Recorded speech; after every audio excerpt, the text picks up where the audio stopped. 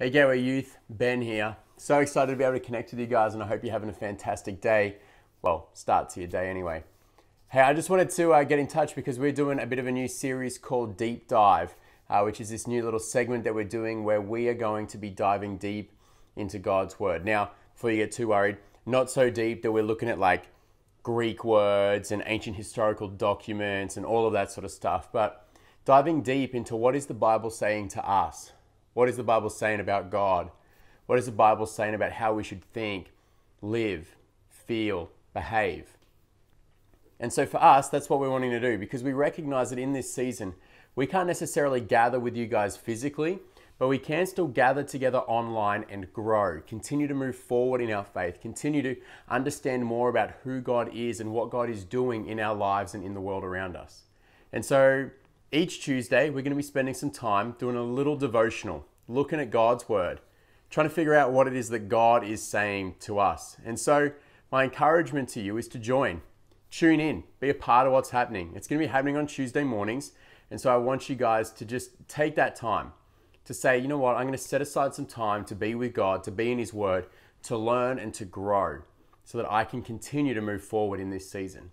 And to do that, we're going to start by being in the book of James, which is a great book to be a part of. It's uh, a book that's really practical, has a whole lot of wisdom in it. And so we're going to dive into that book because James, interestingly, is the brother of Jesus. And so it's kind of cool that the brother of Jesus wrote this book because I always think about my brothers.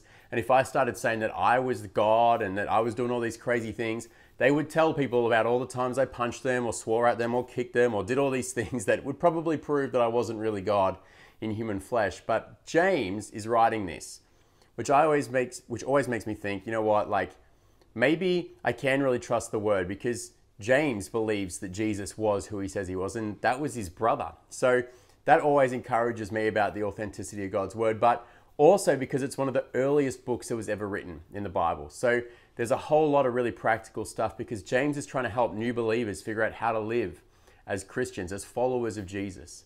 And so that has a lot of encouragement for us as well. And so we're going to dive into James over the next few weeks. And I would love for you guys to join us, to set aside some time to each Tuesday read a chapter of James and then jump online into our deep dive and figure out what it is that maybe God is saying to each and every single one of us. There's going to be some informative information, some reflective questions, and some support and encouragement so that we can all continue to move forward in our faith during this time. And so I'm really excited to have you guys a part of it. And uh, we'll see you each Tuesday going forward. But other than that, this is Ben signing off from our deep dive, and we'll see you next Tuesday.